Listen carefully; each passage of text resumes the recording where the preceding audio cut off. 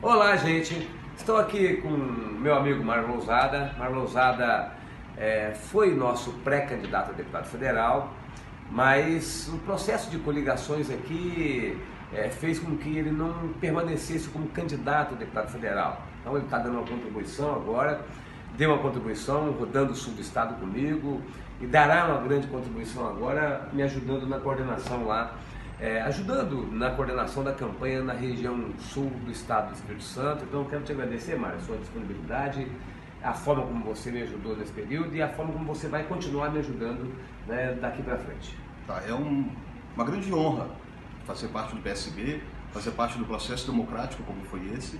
E quero também, Renato, agradecer a todos aqueles que ajudaram a construir a minha pré-campanha. Foi um trabalho muito bacana, muito bem feito e tenho certeza que agora eu na coordenação da campanha lá no Sul, eu vou poder também te ajudar e termos uma vitória ainda mais substancial para o nosso governo. Muito obrigado. Um abraço a todos. Obrigado.